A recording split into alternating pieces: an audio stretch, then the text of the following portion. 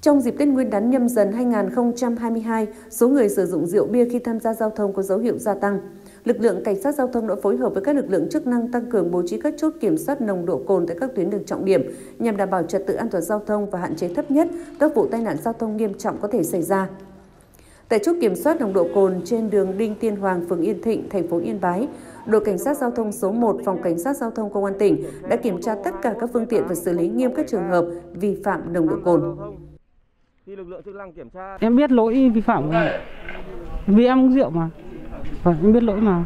Vâng, không có gì phải suy nghĩ được. Bởi bởi vì cũng có lỗi phải chịu thôi, làm sao được. Có thể thấy đại bộ phận người tham gia giao thông trong dịp Tết chấp hành nghiêm hiệu lệnh của lực lượng chức năng, song vẫn còn một số ít người tham gia giao thông ban đầu không chấp hành yêu cầu kiểm tra nồng độ cồn, đóng cửa xe, không hợp tác.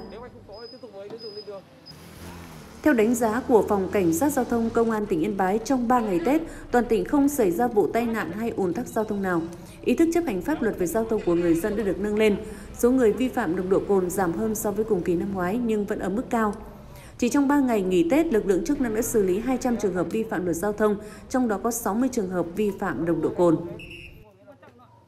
Với năm thì năm nay là người dân đã có ý thức hơn về cái việc tham gia giao thông và cái mức độ sử dụng rượu bia của người dân năm nay là có giảm hơn so với năm. Theo nghị định số 100 mà sửa đổi bổ sung theo nghị định 123 là chúng tôi vẫn sử dụng theo, xử lý theo đúng quy định của pháp luật. Vi phạm ở mức khung hình phạt nào thì anh em chúng tôi sẽ căn cứ vào kết quả đo nồng độ cồn của người vi phạm, tôi tiến hành lập biên bản xử lý đối với các trường hợp vi phạm. Với quyết tâm giảm số người vi phạm nồng độ cồn cũng như giảm tai nạn giao thông trên địa bàn để mọi người, mọi nhà được bình an hạnh phúc trong dịp Tết và các hoạt động du xuân. Thời gian tới, lực lượng cảnh sát giao thông toàn tỉnh sẽ tiếp tục tăng cường lập các chốt đo nồng độ cồn và mở rộng phạm vi kiểm tra trên các tuyến đường, kiên quyết xử lý nghiêm các trường hợp vi phạm và tái phạm, góp phần giữ vững trật tự an toàn giao thông.